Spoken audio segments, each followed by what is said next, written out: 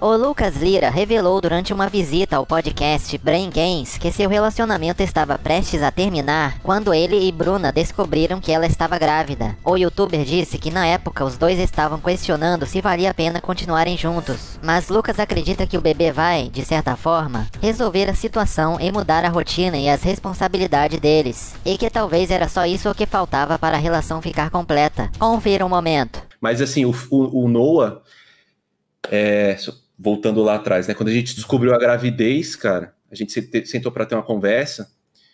A galera não sabe disso, mas eu vou falar aqui.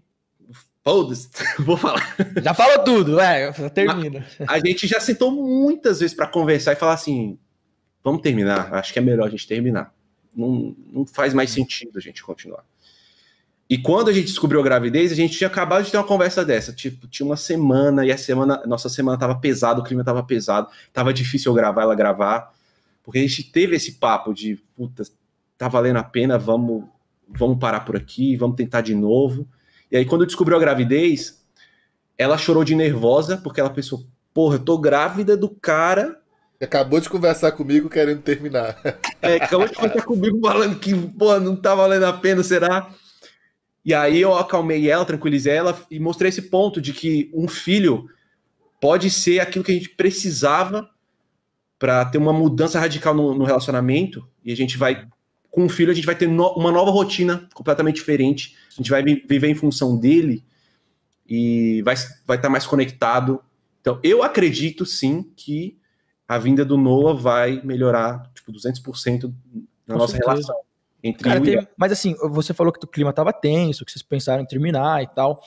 É, eu não me recordo exatamente da época, mas eu lembro que ela aparecia ainda nos seus canais, e no, no, seu canal, e ela fazia vídeo com você.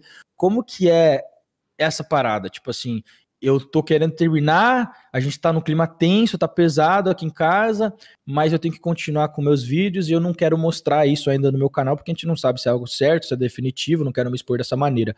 Como é que fica para gravar vídeo com ela, velho?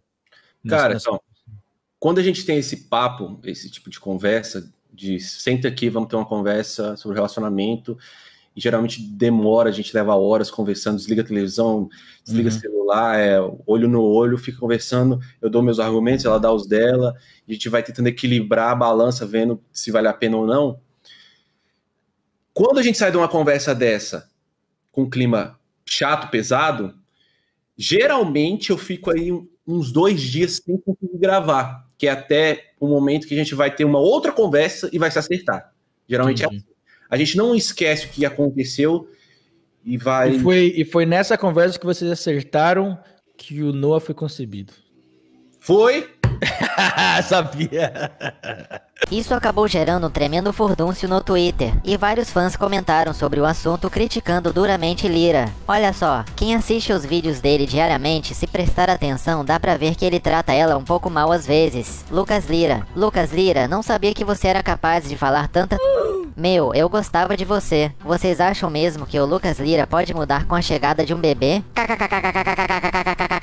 Gente, isso é empurrar o relacionamento com a barriga. Lucas Lira falou que quase terminou o namoro com a Bruna, mas descobriu que ela estava grávida e achou que o namoro poderia melhorar e o pessoal chocado. Me chocou em nada. Cara sempre deu a entender que quem sempre amou mais era a própria Bruna. KKKK. Mano, o Lucas Lira ia terminar com a Bruna, mas depois que descobriu que ela estava grávida, desistiu. E tá empurrando no relacionamento com a barriga. Coitada da Bruna, PQP. Ele é podre. A polêmica foi tanta que a Sunaika Bruna teve que se pronunciar sobre o caso. Ela postou o seguinte story. Gente, tô recebendo um monte de mensagens aqui sobre meu relacionamento que eu vivo morando junto há mais de 6 anos. E sim, eu e o Lucas tem sim nossos desentendimentos, brigas. E nunca passamos que éramos ou que a gente tem um relacionamento perfeito. E eu só queria pedir para vocês respeito por mim e pelo meu filho que tá quase nascendo. E a última coisa que preciso agora é de julgamentos de algo que eu vivo. Não tem nada para ser falado agora. Se em algum momento eu terminar com o Lucas ou der um tempo, eu mesmo venho aqui avisar sobre vocês isso. Somos um casal normal e já passamos sim por muitas crises no relacionamento. E isso acontece com qualquer pessoa que vive junto. Nunca mostramos ser um casal de conto de fadas. Então, por favor, só respeitem o meu momento. Vocês não sabem o quanto dói para mim estar na reta final da minha gravidez, que é algo tão importante para mim, ler comentários desse tipo. Tenham o mínimo de empatia que puderem, porque já ajuda demais. Todo mundo tá propício a errar na vida, mas não é por esse erro que devemos vir com 50 pedras na mão e atacar o próximo. Lembrem-se sempre, quando você aponta o dedo para alguém, tem quatro apontados para você. Sunaika Bruna também tweetou o seguinte: Ruim mesmo é quando você não sabe se desiste ou se continua tentando. Passou-se um tempo e Sunaika começou a receber mensagens dizendo que ela só engravidou para poder salvar seu relacionamento com Lira. Ela ficou indignada com essas mensagens e se pronunciou em seu Instagram. Olha só. É, o outro acabou de tomar banho, não estamos separados, tá? Igual vocês têm, tem gente,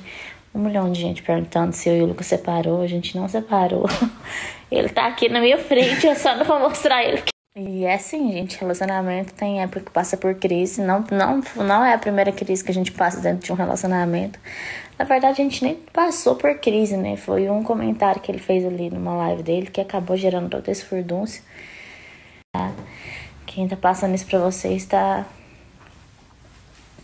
Tá errado, porque não existe, não.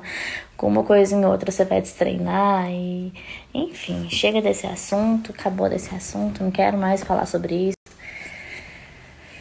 Mas eu tô só falando que a gente tá bem e que ninguém separou de ninguém aqui não, tá bom? Eu vou falar só mais uma coisa aqui. Eu nem queria estar tá falando, mas eu preciso falar porque tá engasgado aqui na minha garganta. Que eu tô recebendo mensagem desse tipo falando que eu engravidei para salvar meu relacionamento. Não existe isso, tá? A gravidez não foi planejada. Eu não planejei engravidar. Eu nunca faria isso com o filho meu. Eu nunca engravidaria pensando assim, nossa, eu vou engravidar pra ficar com o Lucas. Nunca passou isso na minha cabeça. E se algum dia o relacionamento da gente não der certo, vai cada um pro seu canto.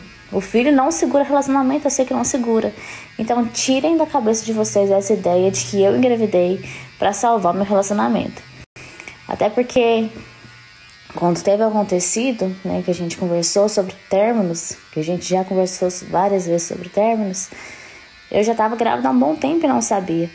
Sou filha de pais separados, tá? Os meus pais são separados. Convivi com a minha mãe, morando junto com meu pai por 30 anos por conta dos filhos e eu jamais, jamais, jamais, jamais vou me sujeitar a passar por uma coisa dessa. Porque quem sofre somos nós, os filhos. Então eu não quero que meu filho sofra de jeito nenhum. Então a partir do momento que eu decidi que não tá bom pra mim, que tá difícil o relacionamento, eu vou pular fora. Independente do meu filho, independente dos meus cachorros, independente de qualquer coisa. Eu sou uma pessoa que me sustento. É... E a partir do momento que eu ver que não dá certo, não é o Noah que vai segurar meu relacionamento. Então parem de achismo, parem de achar que vocês sabem do que se passa do lado de cá. Porque vocês não sabem, sabe? Vocês vê ali uns minutos que aconteceu de podcast. O Lucas tem sim os defeitos dele, da mesma forma que eu também tenho. E a vida é assim, ninguém. E é assim.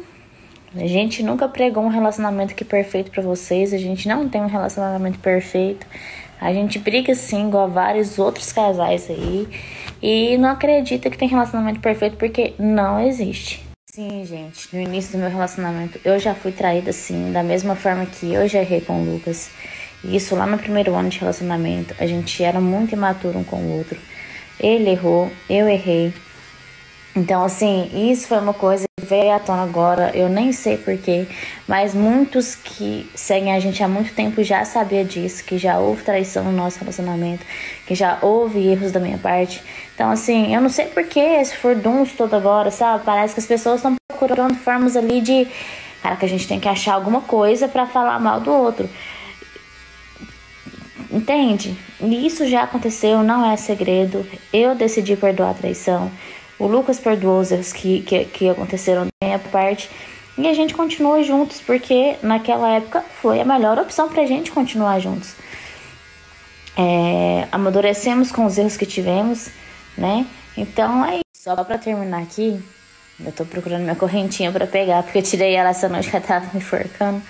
É, só pra terminar aqui, é, só o casal sabe o que se passa entre quatro paredes, mas ninguém sabe. Ligar pra minha mãe, contar pra minha mãe tudo que tá acontecendo. O Lucas pode contar para um amigo dele, sei lá, para quem ele quiser contar.